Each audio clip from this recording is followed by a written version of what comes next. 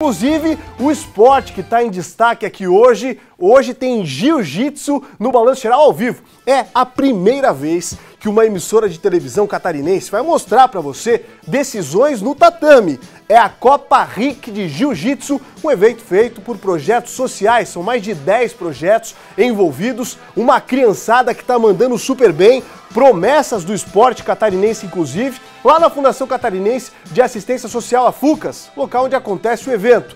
Vamos falar ao vivo com Henrique Zanotto. Oi, Zanotto, que momento especial esse, hein, cara?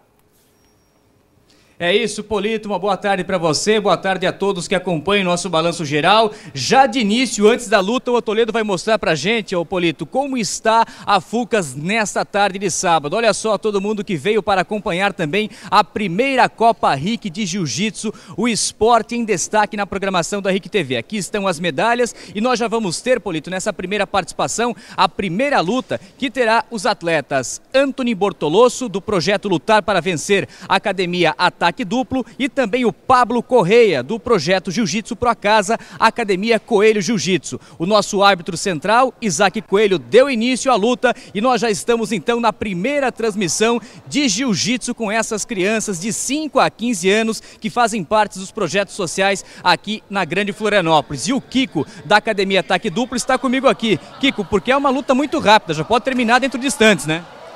É, a gente pode ver que os meninos estão desenvolvendo a técnica de queda, né? É, lutando para ganhar uma posição. Ó, já conseguiu pegar as costas, uma posição muito boa para finalização. E o árbitro está acompanhando ali. Vamos ver o que dá. Não finalizou ainda, né? Que o árbitro está em cima, por quê? Agora levantando a mão, qual é o sinal? Ele fez quatro pontos. Assim que o, que o atleta consegue chegar às costas do adversário, ele faz quatro pontos. A gente pode ver que o aluno de branco ali já saiu bem, se desvencilhou da posição.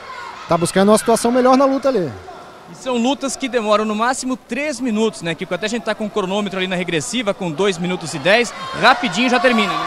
É, na, nessa categoria com infantil, dessa idade, não é, não é muito tempo de luta, né? Geralmente acaba antes do tempo.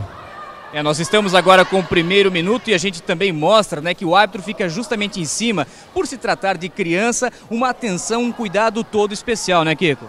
É, segurança total, né? Nessa idade a gente não encaixa os golpes para valer, é só mostrar a posição. Assim que o primeiro atleta posicionar uma posição de finalização, com certeza o árbitro vai interromper a luta.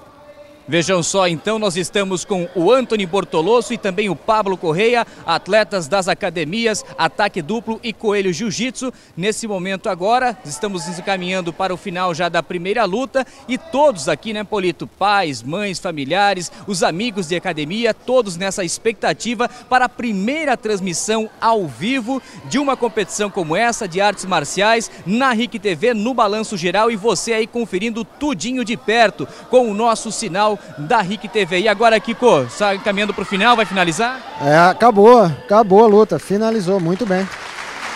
Então, Rafael Polito, nós tivemos então já a nossa primeira luta com o Pablo, né?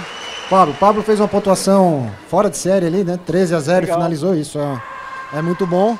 Mas vamos dar parabéns aos dois, né? Os dois estão de parabéns aí, segurizada boa, hein?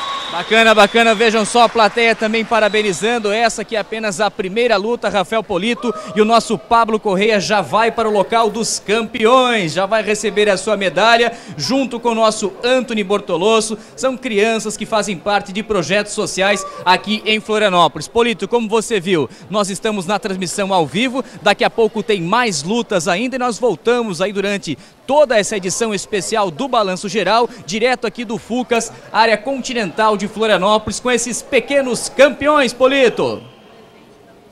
Bacana, hein? Que momento legal, olha só, a garotadinha recebendo as medalhas da querida Carla, que faz parte do marketing aqui da nossa emissora. Um evento muito bacana, não só para estimular o esporte, mas para abraçar essa garotada que mora nas comunidades. São projetos sociais que fazem um trabalho brilhante de um campeonato absolutamente sério. Esse árbitro, por exemplo, atua né, em campeonatos internacionais. É um dos grandes nomes da arbitragem das artes marciais brasileiras e que está atuando aqui, muito importante nesse momento em que, ó, outra luta já está rolando. O Zanotto está acompanhando tudo de perto. Inclusive, nós temos uma entrevista com o nosso superintendente que vai falar sobre o assunto. Reinaldo, fala pra gente.